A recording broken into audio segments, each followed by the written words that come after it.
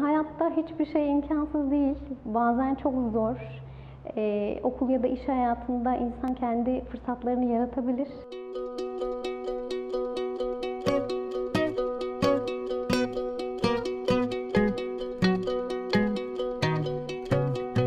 Sivaslıyım. Üç çocuklu bir ailenin ortanca çocuğuyum aslında. İkinci kızım ben. Ee, şöyle maddi durumu çok iyi olmayan bir ailenin çocuğuyum esasında. Liseden mezun olmuştum. Ee, bir giysi mağazasında çalışıyordum. Bir gün mağazada çalışırken bir tane e, bay arkadaş dedi ki müşterilerden biri. Ya dedi sen akşama kadar e, kaç defa katladın hiç saydın mı dedi bunu. Yani şey bu, yaptığımız şey akşama kadar evet bu da bir emek, e, asla yatsınamaz ama orada olmamalıydım ben de. Üniversite sınavına girdim, İstanbul kazanamadım, Kocaeli Üniversitesi'ni kazandım. Ben bu o, e, mağazada çalıştığım süreçte oldu. E, ailem e, şehir dışında okumama karşıydı. Biliyorlardı kazandığımı, göndermeyeceklerini söylemişlerdi. Ee, böyle bir birikimim yoktu benim de. Ee, Bir yıl e, üniversiteyi dondurdum ve Kocaeli Üniversitesi'nde okuyan bir arkadaşımdan yardım aldım. Aradan bir yıl gel yani geçti, geldi ve çattı en sonunda. Ee, oraya servislerle giden insanlar olduğunu öğrendim. Çünkü orada kalamazdım. Ee, bir servise kaydım yaptırdım. O bir sene içerisinde belli bir para toplamıştım kendime.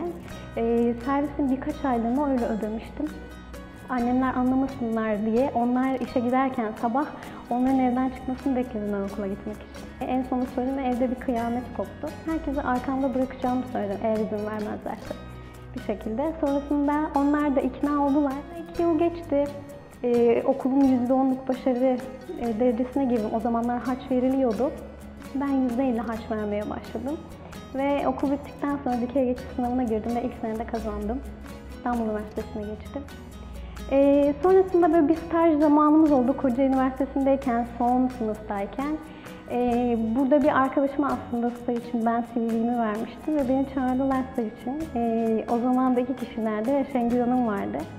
Şengül Hanım inanılmaz etkiledi beni ama e, çalıştığım iş yerinden başka bir e, staj teklifi geldiği için onu değerlendirmiştim. E, sonra okul bitti. Ee, Ben o çalıştığım yerin bir mağazasında çalışmaya başlamıştım ve mağaza kapandı. Sonrasında neden Şengül mail atmayayım diye düşündüm ben. Gel zaman git zaman birkaç defa mail attıktan sonra başladı. İşte tacizlerim o sırada başladı Şengül Hanım için. Ve beni çağırdı, bir görüşme sağladık. Ardından yine böyle bir maillerle Şengül Hanım'a geri döndüm. Sağ olsun o da inandı. Gönüllü stajyer olarak başladım ben buraya. Geçen sene Ekim'de. Ee, Bir ay sonra işe alındım. Şu anda devam ediyorum hala sağ olsun bir kadrolu çalışan olarak. Ben e, insan kaynakları alanında e, yürüyebildiğim kadar ilerlemek istiyorum. Aynı zamanda işaret dili öğrendim ben. E, işitme engelli arkadaşlarla da birkaç mülakat yapma fırsatım oldu. E, ilerleyen dönemlerde hem engellilerle çalışmak istiyorum aynı zamanda hem de insan kaynaklarında gidebildiğim kadar gitmek istiyorum. Hayatta hiçbir şey imkansız değil. Bazen çok zor.